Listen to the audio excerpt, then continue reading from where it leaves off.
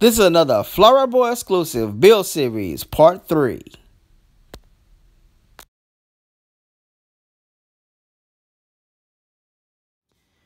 What's going on guys? This is another Flower Boy exclusive build series, part 3.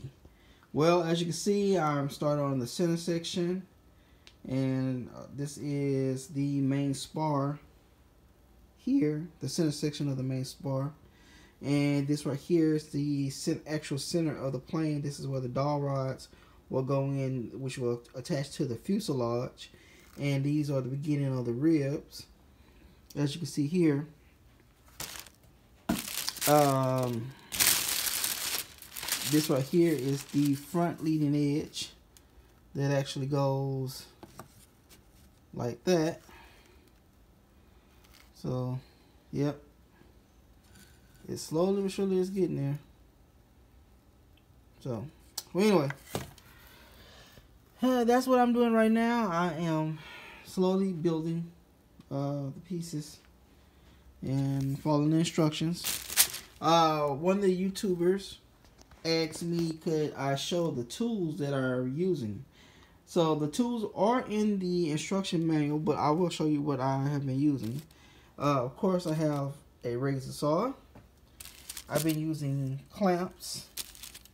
I have two types. So small clamps like this. And then I have these clamps, which basically you squeeze and then they clamp down. Razor blade, box cutter. This right here is great uh, for shaping uh, the, the wood before you sand it down. Uh, I love this thing. Um, I have a planer. This is what you use to uh, shade the wood down if you don't use your box cutter, which I use a lot. Uh, I have a sandbar. Uh, I think this has 120 or 80 grit. I have another fine sand block. And I have a whole bunch of these different sizes, different grits. That's 80. Um, what else do I have here? Of course, you know, I have my 30 minute epoxy. And I have my 5 minute epoxy. I have my medium CA. Uh, I have my wood glue. Thin CA. I have CA remover just in case I put some CA where I don't want it to go. Have a giant clamp. I have a couple of these big, big boys. Uh, I have uh, a. Oh, what did I do with it? Uh, I have a whole slew of pins, T pins and regular long pins. And these are what I use to actually uh, hold down um, the blueprints to the board. And also, I use these uh, to hold the wood down uh, to the uh, blueprints. Good old painter's tape. Have that. Love this thing. This is a level. So that that way I can make sure that I have a straight vertical 45 degree.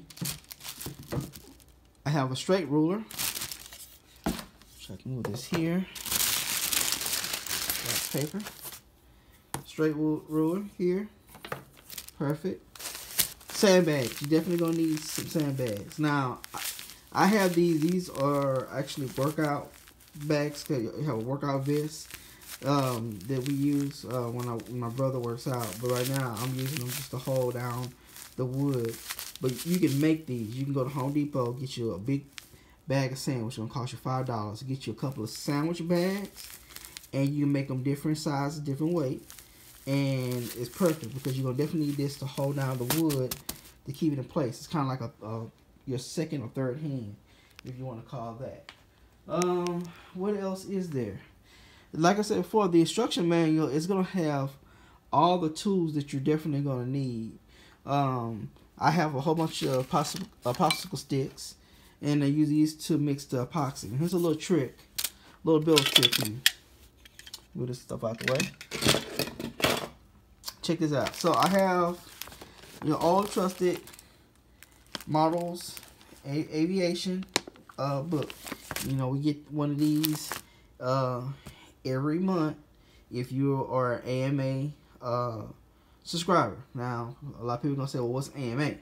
If you're not into the hobby, so the AMA is what we use. Is basically it's our insurance uh, for when you're flying at an AMA sanctioned field, you have to have an AMA card. And every year, the first of the year, we have to uh, to renew our AMA license. Basically, we sanction ourselves to make sure that there's some rules that we go by, so that that way we all use be safe. The AMA also is if our planes, for any reason, get out of line and may either hurt someone or hurt somebody's property, then we can use our AMA. It's basically insurance that says that we pay this certain amount of money so that that way um, we can be insured. Also, a lot of people don't realize that your home associate, I'm sorry, home associate, your home insurance also can help if you get into an accident with your airplane. A lot of people don't know that, so that's another trick. But what I was kind of diverted. So basically, I have an old magazine, and instead of throwing it out, I'm recycling it. What I do is I get my epoxy, put it on a sheet. Use my stir stick, stir it up real good. Apply to whatever I'm going to apply to, and then once I'm done, instead of you know, I take the tip off the the epoxy stick, and now I just have this epoxy that's glued to the sheet. Well, you just take this sheet, and you can just go shh, tear it off, throw it into the trash, and now you have a fresh new sheet ready for epoxy. So that's a little tip and trick um, that I can share with y'all that I've learned. You know that you don't have to waste paper towels or paper or bowls or cups where you we have all these magazines just laying around and then after you read them a couple of times most a lot of people just recycle them or throw them away. Well you can use them as a tool if you're using to build or repair an airplane. You can always use a magazine to use that. So that's a little tip. So those are just some of the tools. Uh, like I said before, uh, each each uh, bill is going to require different tools, and it's going to tell you all the tools and stuff that you're going to need. But these are the tools that I've been using to build this giant scale top flight Corsair. So um, hopefully I'll get a little further along. Uh, as you can see, the center section is is is, is coming along. It's it's a slow and steady deal. You know, I wanted to make sure that all my ribs are angled right and that you know I got them good in epoxy. So, you know, everything has been been leveled and I make sure that everything is is is where it's supposed to be at. It's as straight as possible and glued down as as, as best as I could.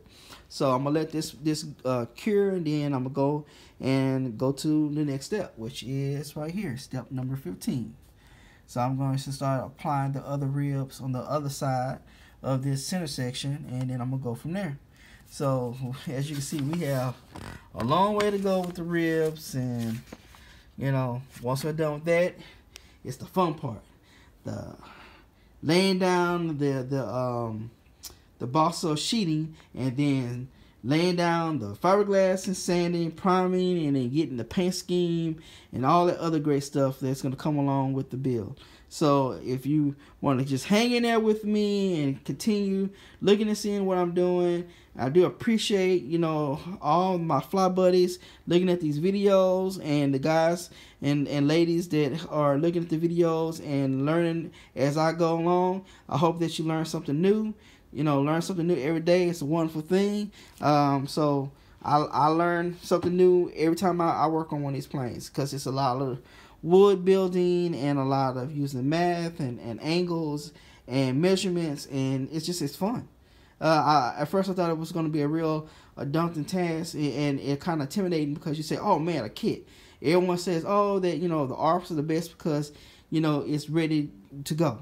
Well, this kit is once I'm done, it's gonna be something that I say that I accomplished because this is my very first kit. Yeah, I could have probably did a little something simple a real simple kit, but I really enjoy the Corsair, and it's something that uh, when the one that I did have, I enjoy flying, and I'm going to enjoy this one even more because I know that I built this by my by hand. So as always, uh, I'm Flyer Boy Kevin. We're the Flyright Boys. We fly right and we go home, and I hope to see you on the flight line when the weather gets a little bit better. So as right now, I'm still here at the build table, and so I guess I will see you on my next video. If you're interested in getting a kit like this, you can find these at your local hobby stores.